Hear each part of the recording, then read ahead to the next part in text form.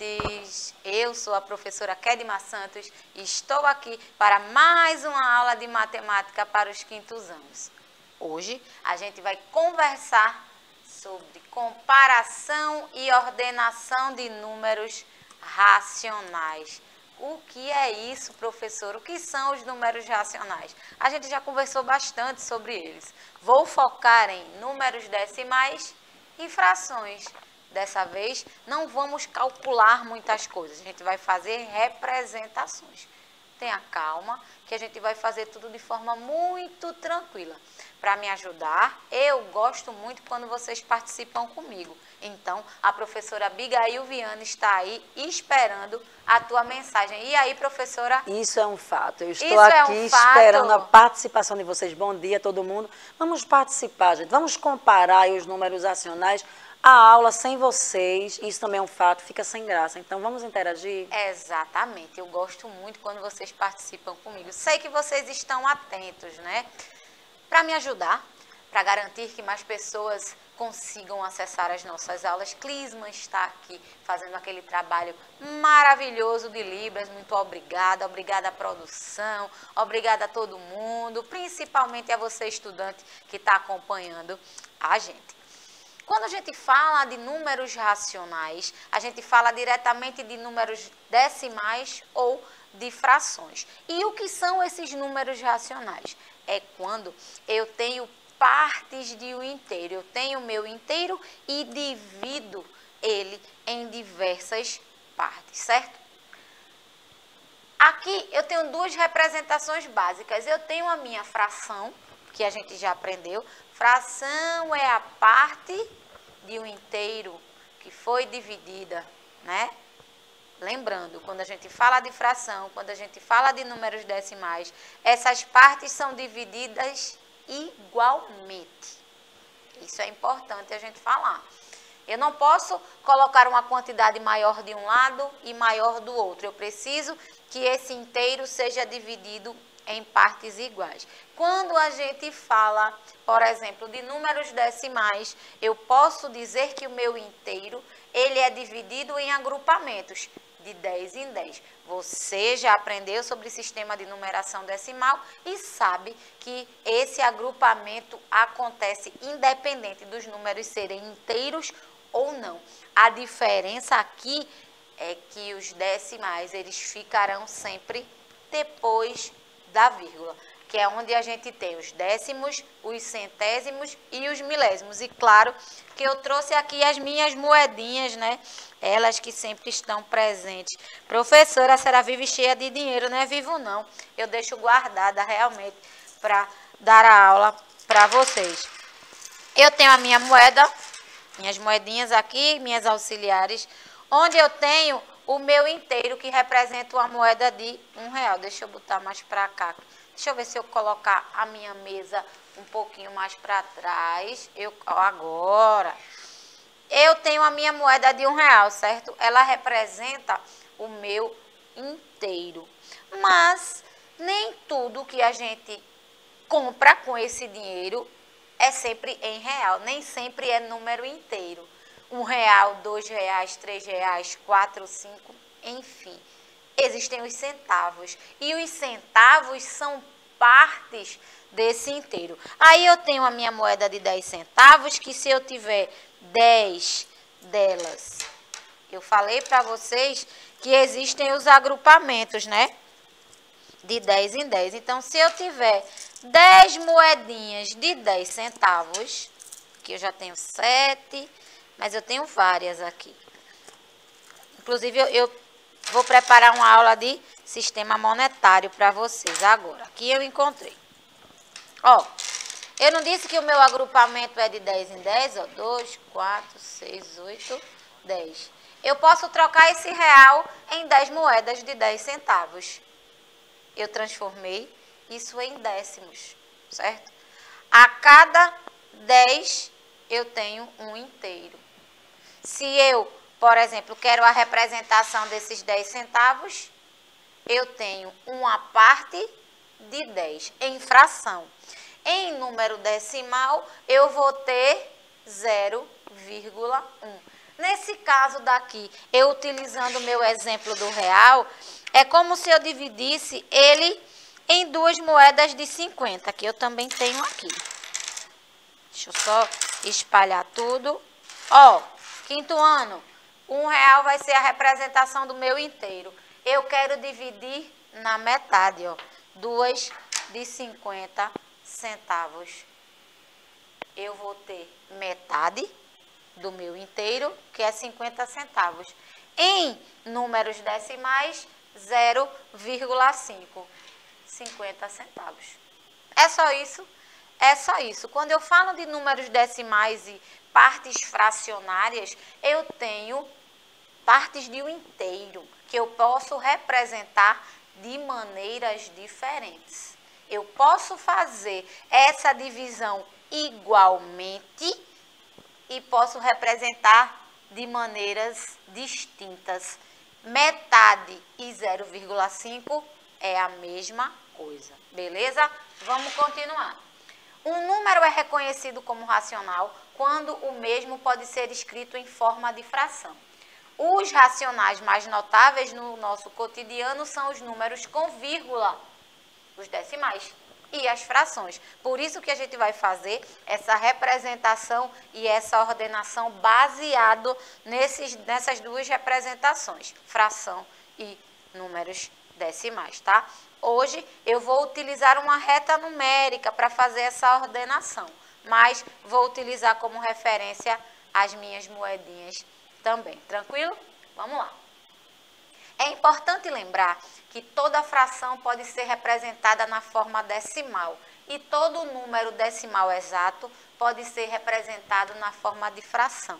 Eu posso ter um número decimal e representar em fração e posso ter uma fração e ela ser representada em números decimais também. Como eu tenho aqui uma grande representação, nosso material dourado, nossa referência. Hoje eu não trouxe para dar espaço às nossas moedas, por isso que está aqui na imagem. Eu tenho o meu inteiro e tudo que eu fizer será baseado no meu inteiro. Só que dessa vez eu quero a minha representação dos números decimais. Se eu tiver aquele quadradinho pequeno que a gente chama de unidade, eu vou ter mil Mil quadradinhos representam um inteiro. Então, cada quadrado desse será uma parte de mil. Em números decimais, a gente vai chamar isso de milésimo. Se eu, por exemplo, ao invés de ter os quadradinhos, tiver aquela barrinha, para eu, eu formar o meu inteiro, aquele meu cubão, eu vou precisar de 100 delas. Eu posso dizer que uma barra dessa ela vale uma parte das 100. Em números decimais, um centésimo. Não é à toa que se chama, que a nossa moeda se chama centavo. Ela está na casa centesimal. Aqui, uma parte de 100. Beleza? E aqui eu tenho as minhas placas. Para eu conseguir formar o meu inteiro, eu preciso de 10 placas dessa. Sendo assim, eu posso dizer que a minha fração é um décimo, uma parte das 10. Cada placa dessa representa um de 10. Onde, em números decimais, isso vai ser a representação do nosso décimo. Eu tenho representações diferentes para a mesma quantidade. Beleza? Tranquilo?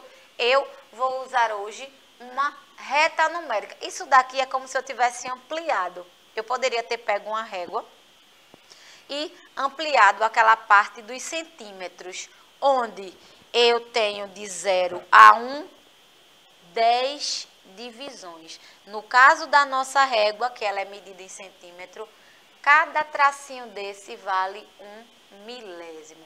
Uma parte de 10, certo? Essa questão da das unidades de medida, a gente utiliza como referência para o que a gente vai querer. Eu não vou tocar nesse assunto hoje. Eu só me referi a centímetro e milímetro, porque é a unidade de medida que tem na nossa régua e é um material que vocês têm acesso. Se eu quisesse, por exemplo, representar aqui metade, uma parte de duas, ou 0,5, como eu faria?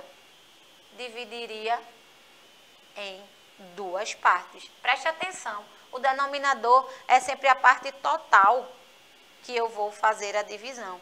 Então, eu vou precisar dividir em duas partes. Dividir em metade. É como se eu tivesse esse real e fosse dividir em duas moedas de 50 centavos, onde cada partezinha dessa vale 0,5. E aqui eu tenho uma parte de duas, uma parte de duas, ou 0,5, como está aqui na mesa com os centavos. 0,5, 0,50. Tranquilo? Tem mais, professora? Claro que tem. Eu tenho um exemplo da minha régua aqui. Preste atenção, é como se eu tivesse ampliado. Ó. De 0 a 1, eu tenho 10 divisões aí. Cada divisão dessa vale 0,1. 0,10 se eu fosse representar em moeda. Tranquilo?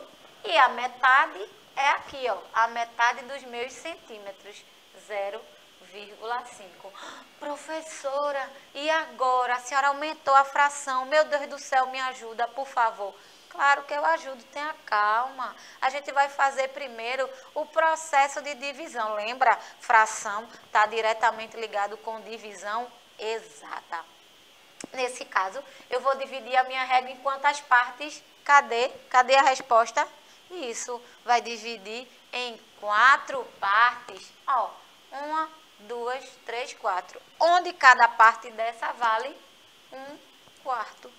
Um quarto, aí vem dois quartos, três quartos e por último, quatro quartos é a mesma coisa que um inteiro, tá? Por isso que eu não botei quatro quartos ali, porque vocês sabem que quatro partes de quatro é um, é um inteiro, beleza? É a minha régua inteira. Preste atenção, ó um quarto, dois quartos, três quartos, um inteiro.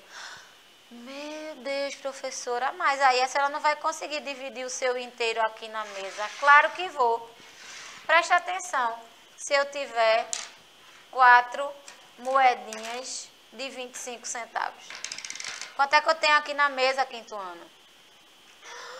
Professora, a senhora conseguiu formar um real com moeda de 25. Claro que eu consegui. E é exatamente a representação que eu tenho aqui. Uma parte das quatro.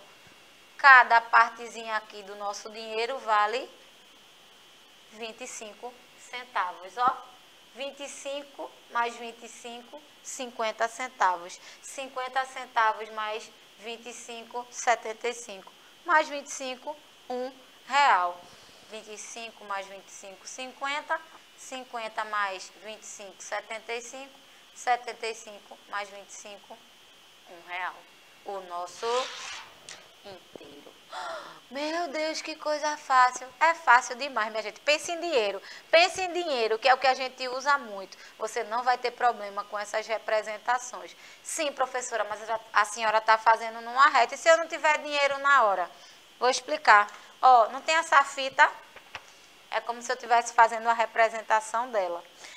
Na fração, ele me pediu para eu dividir em quantas partes. Pensa no denominador, que é a quantidade total que eu vou dividir. Ah, professora, eu pego uma fita dessa e divido em quatro partes, é? É, vai dividir em quatro partes. Ó, dividir, quatro partes onde cada pedacinho desse quinto ano vale um quarto, uma parte das quatro que eu dividi. Um quarto, dois quartos, três quartos, o inteiro, que é quatro quartos. Meu Deus, é muito fácil, é muito fácil. Se não tiver as moedinhas que eu estou mostrando aqui na hora, não tem problema. Pega um pedaço de papel e divide a partir da fração que vai ser pedida, certo? Vamos lá. Aqui, ó, a representação, ó, eu peguei o meu real, dividi em 25 centavos. Tem mais? Tem mais. Professora, será está dificultando o um negócio? Tô nada. Eu estou é facilitando. Dessa vez, a gente vai dividir a nossa reta em quantas partes? em 5. Primeiro começa da fração.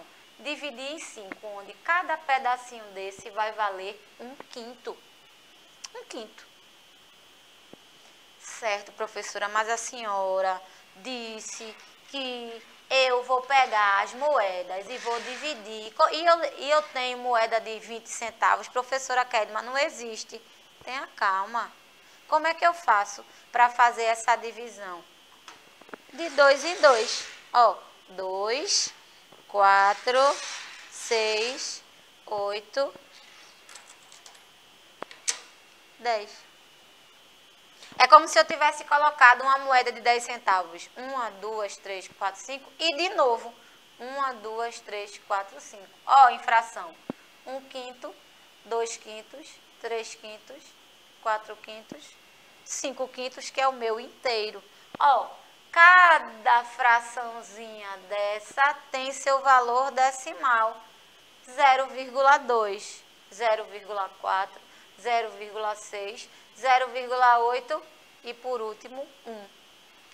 20 centavos, 40 centavos, 60 centavos, 80 centavos, 1 real. Vê que maravilhoso? Olha, 20, 40, 60, 80, 1 real. É como se eu tivesse pego o meu inteiro e dividido em 20, 20 centavos. Consegue fazer mais? Consigo. E dessa vez a gente vem para o agrupamento de 10 mesmo. Eu vou pegar a minha reta numérica como se eu tivesse pego exatamente o trecho da minha régua e fazendo uma parte de 10, 2, 3, 4, 5, 6, 7, 8, 9 partes de 10 e por último o inteiro. Nesse caso aqui, se a gente for usar a régua, 1 milímetro, 2 milímetros, 3 milímetros, 4 milímetros, meio centímetro. Cinco partes são 5 milímetros de 10, que formam o centímetro. Em real, eu só preciso dizer que eu dividi ele em 10 moedas de 10 centavos. É só isso. A representação é essa. Fácil. 10, 20, 30, 40, 50, 60, 70, 80, 90, 1 real. Tranquilo? Olha que massa, muito fácil, né? Em moedas, é isso. 10, 20, 30, 40, 50, 60, 70, 80, 90, 1 real. Tranquilo? Fácil demais, ó. Para fechar, eu quero que você me diga, já responde no YouTube, que a nossa aula infelizmente está chegando ao fim. Que representação numérica encontraremos abaixo? Tem uma marcação, tem a representação de uma régua, onde você vai me dizer que representação é essa. Me diz em fração e em decimal, beleza? Eu aproveito para agradecer a professora Abigail Viana. Eu que agradeço e o Arthur está atento à aula, viu? Está aqui conversando comigo aqui no chat, participando da aula. Beijo, Arthur. É isso aí. Beijo para Arthur. Tainara, é seu aniversário hoje.